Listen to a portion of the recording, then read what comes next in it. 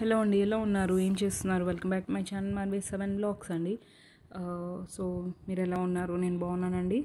So తప్పకుండా ఇప్పుడే కనుక నా ఛానల్ చూసినట్టయితే తప్పకుండా సబ్స్క్రైబ్ చేయండి షేర్ చేయండి లైక్ చేయండి. సో ఇవాళ వచ్చేసి క్యాలీఫ్లవర్ అండ్ బ్రింజాల్ కూర అండి. సో దానికోసం ఆయిల్ పెట్టుకున్నాను. దానిలో ఆవాలు జీలకర్ర కొంచెం శనగపప్పు అండ్ ఇంగువ కాస్త కరివేపాకు వేసుకోవాలి. సో క్యాలీఫ్లవర్ ఏంటంటే పీసెస్ లాగా అంటే మనం తుంపేసుకుంటాం కదా అలా చేసి కొంచెం వేడి నీళ్ళల్లో సాల్ట్ వేసేసి ఉంచానండి. సో దట్ ఏంటంటే ఆల్మోస్ట్ ఒక ఫార్టీ ఫిఫ్టీ పర్సెంట్ అవి కుక్ అయినట్టు అయిపోతాయి. అండ్ దానిలో ఏదన్నా ఉంటే కూడా పోతుందండి సాల్ట్ వాటర్లో వేస్తే. సో వేసి ఉంచుకున్నాను.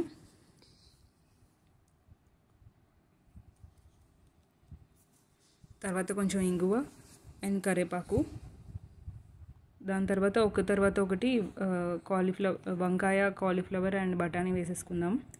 చాలా బాగుంటుందండి కూర తప్పకుండా ట్రై చేయండి. అండ్ ఇలాగే కాంబినేషన్స్తో చాలా చేసుకోవచ్చు అండి మనం వంకాయ క్యాలీఫ్లవర్ ఒకటి చేసుకోవచ్చు వంకాయ చిక్కుడుకాయ ఒకటి చేసుకోవచ్చు అండ్ కాలీఫ్లవర్ చిక్కుడుకాయ ఒకటి చేసుకోవచ్చు. చాలా ఉన్నాయండి వెరైటీస్ అలా. ఇదైతే నార్మల్గా చేశానండి. మామూలుగా దీనిలో మీరు కావాలంటే ఎండుకారం బదులు పచ్చిమిర్చి అండ్ అల్లం వేసిన పేస్ట్ చేస్తాం కదా ఆ పేస్ట్ వేసుకోవచ్చు. అలా కూడా బాగుంటుంది. అండ్ ఒకదాని తర్వాత ఒకటి వేసేసుకున్నానండి. బ్రింజాల్ ఇంకా కాలీఫ్లవర్ అండ్ బఠానీ.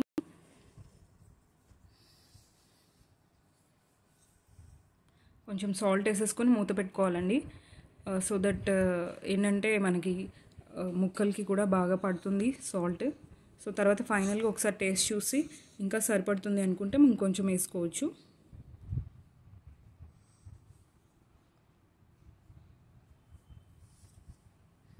మనం వేసేటప్పుడు ఏదైతే మనం వాటర్లోంచి తీసి వేస్తుంటాం కదా మనం వేసేటప్పుడు ఏదైతే వద్దన్న ఎంత డ్రైన్ చేసినా కొంచెం లైట్గా వాటర్ పడుతుంది కదా జస్ట్ స్ప్రింకిల్ చేసినట్టు ఆ వాటర్ సరిపోతుందండి కూర ఉడకడానికి.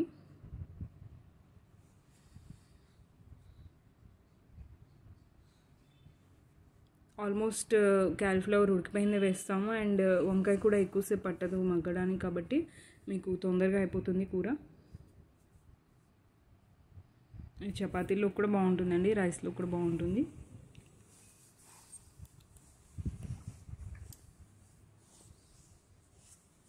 తర్వాత ఆల్మోస్ట్ ఇంకా ఉడికిపోయింది అనుకున్నప్పుడు కొంచెం కారము పసుపు మీకు తగినంత అంటే కారం ఎక్కువైతే ఎక్కువ తక్కువైతే తక్కువ అండ్ కొంచెం పసుపు వేసేసుకుని కా కాసేపు ఉంచి తీసేసుకోవడమే అండి.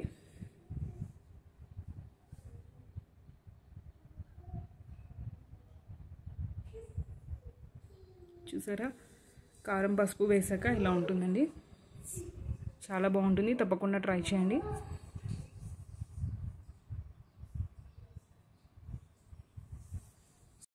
సో ఇది వచ్చేసి స్ప్రౌట్స్ వడ అండి. Mixed sprouts vada. దీనిలో పెసలు శనగలు పొట్టుతో ఉన్న శనగలు పొట్టుతో ఉన్న పెసలు కిడ్నీ బీన్స్ లాగా ఉంటాయి మన చిక్కుడు గింజల్లాగా వైట్గా. అవి దొరుకుతాయండి బయట. అండ్ కాబూలి చెన అంటాం కదా పెద్దగా ఉంటాయి. బ్రాడ్గా చిన్ మనం చోలే మసాలా చేసుకుంటాం అవి. అండ్ అల్లం ముక్కలు గ్రీన్ మిర్చి కొంచెం జీలకర్ర సాల్ట్ వేసేసి గ్రైండ్ చేసుకోవాలండి. మార్నింగ్ నానబెడితే నైట్ కావాలనుకుంటే నైట్కి నానిపో నానిపోతాయి. లేదంటే నైట్ నానబెట్టుకుని మార్నింగ్ వేసుకోవాలనుకున్న నైట్ నానబెట్టేసుకోవచ్చు అండి చాలా బాగుంటాయి. చాలా టేస్టీగా ఉంటాయండి. అండ్ హెల్త్కి కూడా చాలా మంచిది బికాజ్ మనం అన్ని శనగలు పెసలు ఏదైతే మన ఇది కిడ్నీ బీన్స్లో ఉంటాయని చెప్పాను కదా అవి వేసాము. సో చాలా బాగుంటాయండి. ఇది వచ్చేసి పుదీనా వేసానండి. మనం జస్ట్ ఇంకా వేసుకుంటాము వడలు అనుకున్నప్పుడు పుదీనా మిక్స్ చేసేసుకోవాలండి. బాగా ఎంత ఎక్కువ వేసుకుంటే అంత మంచి టేస్ట్ ఉంటుంది. అండ్ హెల్త్కి కూడా చాలా మంచిది. సో వేసేసుకున్న తర్వాత మనం కొంచెం లైట్గా చాట్ మసాలా చల్లుకుని uh, సాస్తో తినేయచ్చండి. చాలా బాగుంటాయి. సో తప్పకుండా ట్రై చేయండి.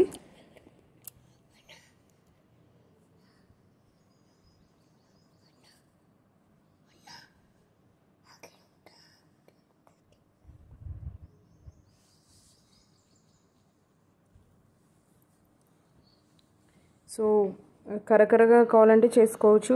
ఎక్కువసేపు ఉంచితే కరకర అవుతాయండి. అండ్ కొంచెం ఇంకా ఉడికేసాయి తీసేయచ్చు అనుకుంటే మెత్తగా ఇలా కూడా తీసేసుకోవచ్చు. చాలా బాగుంటాయండి. ఇలాగ మనం శనగపప్పు వడ శనగపప్పు వడలు చేస్తాం ఓన్లీ శనగలతో. అది ఐ మీన్ మన శనగపప్పుతో చేస్తాం ఎక్కువ. బట్ ఇలా కూడా చేసుకోవచ్చండి. చాలా బాగుంటాయి. ఒకసారి ట్రై చేయండి. సో ఇవేంటంటే బిళ్ళల్లాగే కాకుండా మనం పకోడీలాగా మనం ఏదైతే ఉల్లిపాయ పకోడీ చేసుకుంటామో అలా కూడా వేసుకోవచ్చండి. జస్ట్ ఇలా వేసుకుని వెళ్ళిపోవచ్చు.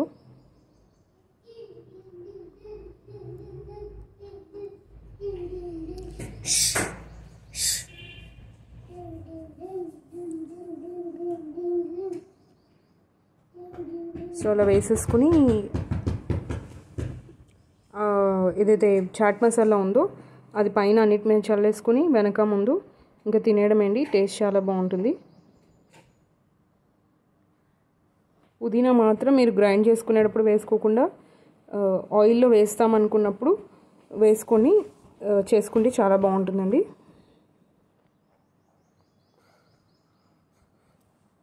సో పిల్లలకి పెట్టాను. టేస్ట్ ఎలా ఉంది అంటే వాళ్ళు ఇంకా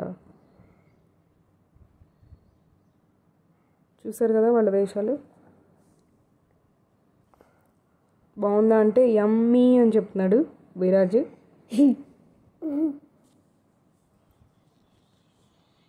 సో ఎలా అనిపించింది బ్లాగ్ చెప్పండి తప్పకుండా.